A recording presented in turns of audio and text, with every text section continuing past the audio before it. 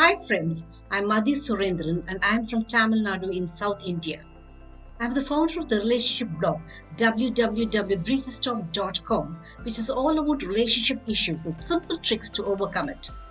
This video is a short introduction about my YouTube channel Marriage Realities.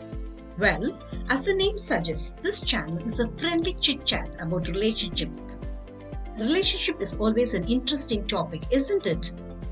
An evergreen topic also. Who doesn't have relationship problems? It would be a blatant lie if you say you have a problem free married life. Because from the royals to the layman, every marriage has its own share of problems. I think the relationship between a man and a woman is the toughest one in the whole world. It's world's eighth wonder that two people from two diversified family backgrounds could live together for years, isn't it? But of late, modern marriages are getting tougher and tougher, and couples enjoying a stable marriage is getting rarer and rarer. Divorce has become so common that its magnitude is rather alarming. Why do most modern marriages end in divorce? The reasons are varied and wide ranging. So let us talk about it. You might wonder what qualification I have to talk about relationships. Well, I'll be talking from my experience. I enjoyed 18 years of excellent relationship with my husband. Though he is no more, I still have nostalgic memories of the loving time we spent together. I don't think our married life was problem free because it wasn't. We had tons of love but no money, and the lack of money played havoc in our married life. Though we loved each other, we often fought about money.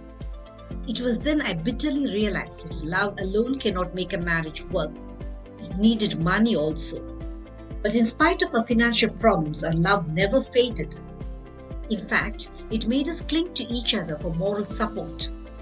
This is the reason I feel sad when I see couples losing their marriage for fickle reasons.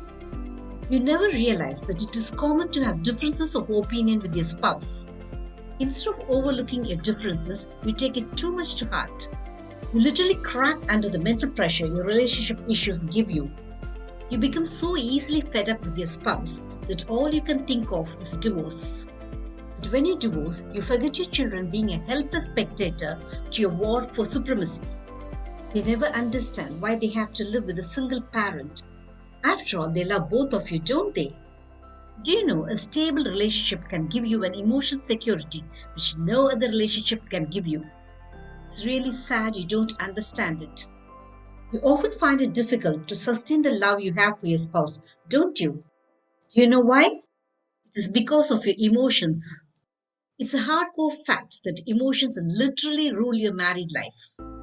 And your emotions are so fickle that one moment you feel you're enjoying an excellent relationship with your spouse, but the next moment you feel that you have married a wrong person. And invariably you file for divorce under the spell of your fluctuating emotions.